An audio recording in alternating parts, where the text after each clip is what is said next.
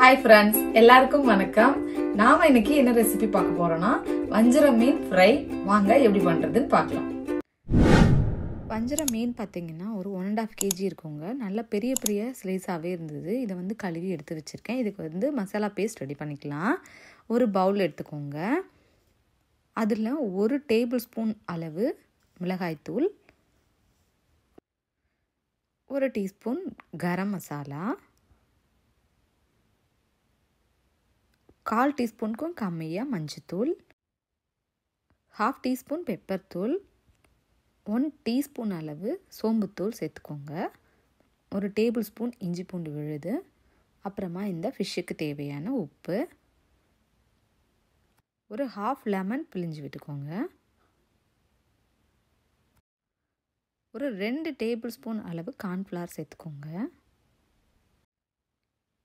இது எல்லாத்தையும் நல்லா கலந்து கொடுங்க. சோம்புத்தூள் வந்து நல்ல ஃப்ளேவர் கொடுக்குங்க. நீங்கள் ஃபிஷ் கோ ஃபிஷ் ஃப்ரை பண்ணும்போதோ இல்லை ப்ரான் பண்ணும்போதும் பார்த்தீங்கன்னா சோம்புத்தூள் ஆட் பண்ணிங்கன்னா நல்லாவே வந்து மனமாக இருக்கும். ஸோ ட்ரை பண்ணி பாருங்கள் மசாலா எல்லாம் தடவுனதுக்கு அப்புறமா ஃபிஷ்ல எல்லாம் வந்து நல்லா கோட் பண்ணி ஒரு ஆஃப் அன் ஹவர் நம்ம இதை ஊற வச்சுக்கலாம். நல்லா வந்து மசாலா எல்லாம் நல்லா கோட் ஆகிற மாதிரி தடவி வச்சுக்கோங்க.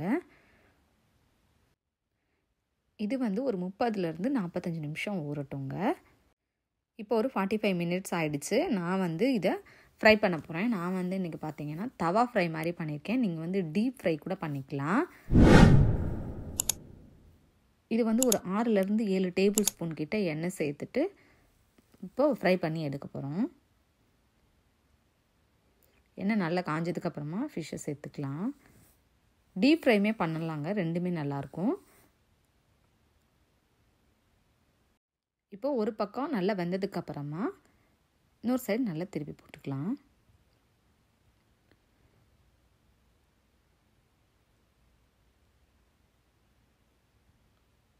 திருப்பி போட்டுட்டு ரெண்டு பக்கமும் நல்லா வேகட்டுங்க. நீங்கள் வந்து தவா ஃப்ரை பண்ணும்போது லைட்டாக ஒட்டுற மாதிரி இருக்கும். டீப் ஃப்ரை பண்ணால் ஒட்டாது.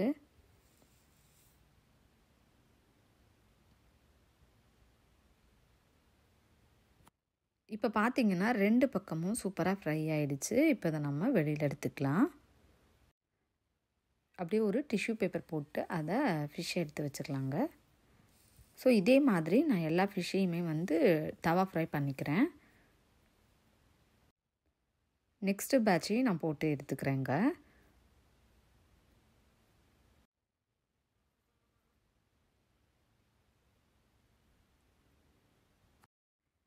ஸோ ஃபைனலாக நம்மளோட வஞ்சர மீன் ஃப்ரை ரெடி ஆகிடுச்சுங்க ஸோ அது கூடவே பார்த்தீங்கன்னா மேலாப்பில் கொஞ்சமாக கருவேப்பில் ஃப்ரை பண்ணி போட்டிருக்கேன். ஃப்ளேவருக்காக வேணும்னா பெப்பர் கூட நீங்கள் ஆட் பண்ணிக்கலாங்க. ஸோ ஃப்ரெண்ட்ஸ் இந்த ரெசிபி உங்களுக்கு பிடிச்சிருந்ததுன்னா மறக்காமல் எங்கள் சேனலுக்கு லைக் பண்ணுங்கள் ஷேர் பண்ணுங்கள் கமெண்ட் பண்ணுங்கள் சப்ஸ்கிரைப் பண்ணுங்கள் மறக்காமல் பெல் ஐக்கன் கிளிக் பண்ணி வச்சுக்கோங்க. தேங்க்யூ